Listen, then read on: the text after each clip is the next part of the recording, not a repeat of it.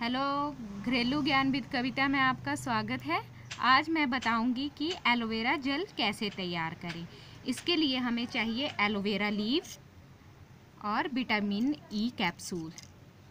तो अब हम इन लीव को काट लेंगे और इस, इससे जेल निकालेंगे।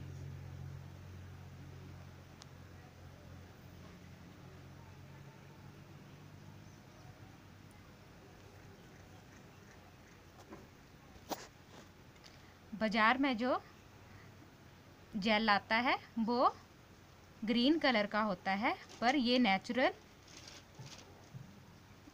जेल है। प्लांट से ये ट्रांसपेरेंट ही रहेगा। इसमें हम कोई भी कलर ऐड नहीं करेंगे।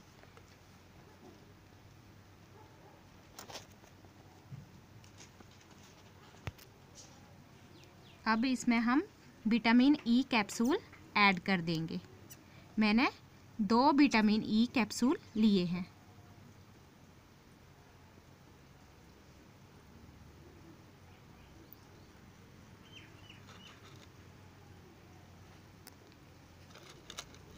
और इसको मिक्स कर देंगे और अब हम इसको फेस पे या बालों पे लगा सकते हैं, जिससे हमारी रिंकल फ्री और स्किन सुंदर, चमकदार हो जाएगी।